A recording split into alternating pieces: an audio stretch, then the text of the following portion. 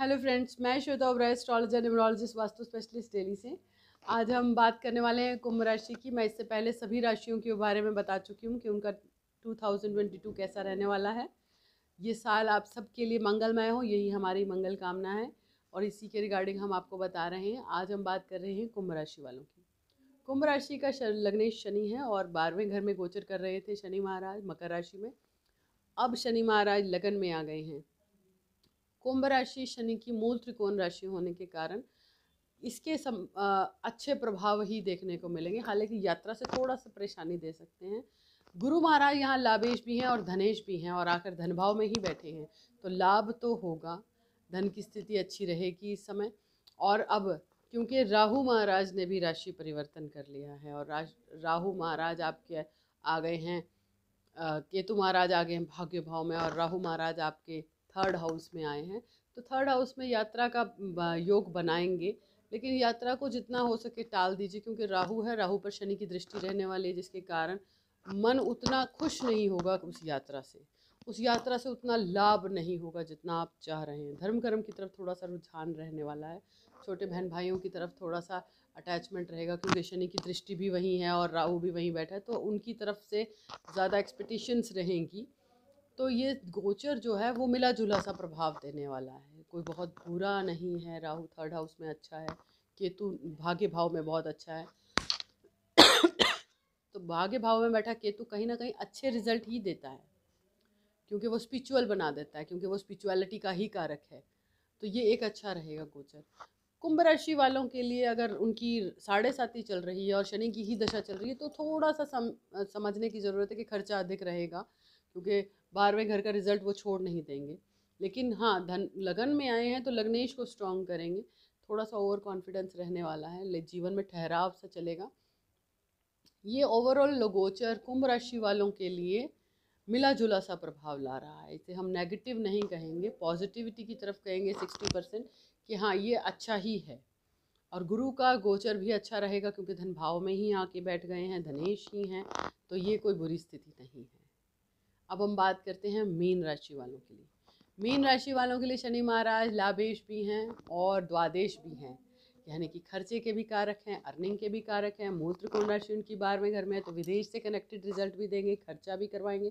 कोई संस्था को ज्वाइंट कर लेना भी ट्वेल्थ हाउस है उसे हम खर्चे से नहीं देखते हैं। और जो हम कर्जा लेते हैं उसकी ईएमआई भी ट्वेल्थ हाउस है। तो हम ये नहीं कह सकते कि वो पूरी तरह से मेलिफिक ही है और ध्यान साधना करना भी ट्वेल्थ हाउस है।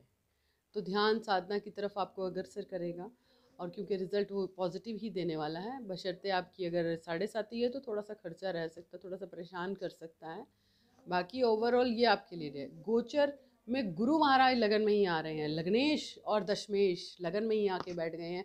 तो काम के लिए कोई परेशानी नहीं होगी, क्योंकि गुरु महाराज आपके दसवें घर के स्वामी हैं और लगन में आके बैठ रहे हैं। तो ये आपको काम आपके बिज़नेस आपकी जॉब की तरफ़ से कोई परेशानी नहीं देने वाले हैं। लगन में आ रहे हैं। हाँ लगन में आकर थोड़ा सा क्योंकि भारी ग्रह है, लगन में आकर थोड़ा सा अच्छा ही करेंगे, कुछ बुरा नहीं करने वाले क्योंकि गुरु हैं।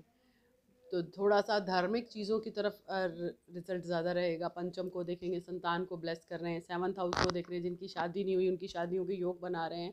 भाग्य भाव को देख रहे हैं तो भाग्य से कनेक्टेड भी आपको ब्लेस कर रहे हैं, यानी भाग्य आपको साथ देगा। तो मीन राशि वालों के लिए भी ये एक गोचर एक तरह से अच्छा है।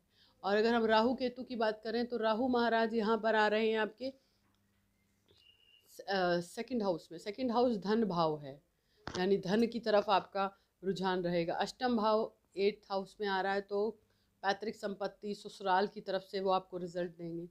तो ओवरऑल ये गोचर आपके लिए अच्छा रहने वाला है और चौदह से अप्रैल से चौदह मई के बीच में अगर हम बात करें तो सूर्य उच्च के हो जाएँगे। छठे घर का स्वामी धन भाव में उच्च का हो जाएगा और शनि की दृष्टि भी उस पर रहेगी।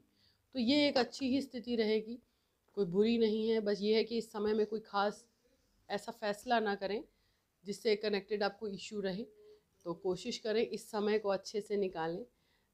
सभी के लिए यह समय अच्छा प्रभाव दे, अच्छे रिज़ल्ट दे, हम यही चाहते हैं। अपनी कुंडली एनालाइज करवाएँ ताकि आपको अपने पूरे साल की रिपोर्ट मिले कि आपके साथ ये साल क्या क्या आपको करना है क्या क्या आपको नहीं करना है।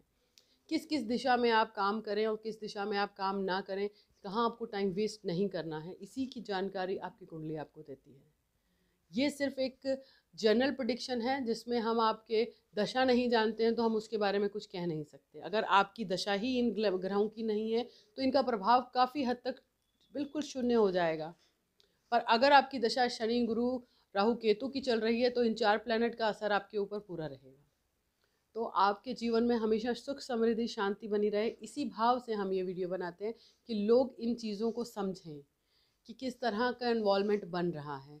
किस तरह के ग्रह समय सक्रिय ज़्यादा हैं, किनका असर ज़्यादा रहेगा।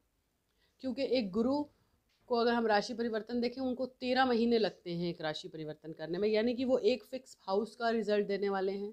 शनि महाराज को ढाई साल लगते हैं एक राशि में आने के लिए, यानी कि ये जो शनि की प्रडिक्शन है, ये फिक्स रहने वाली है।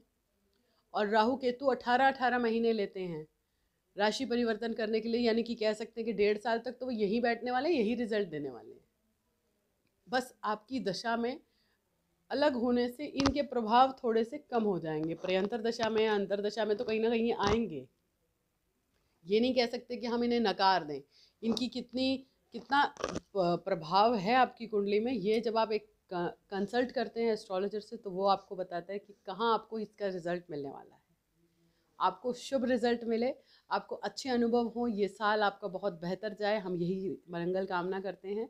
आपके घर में सुख शांति और समृद्धि बनी जाए। जय माता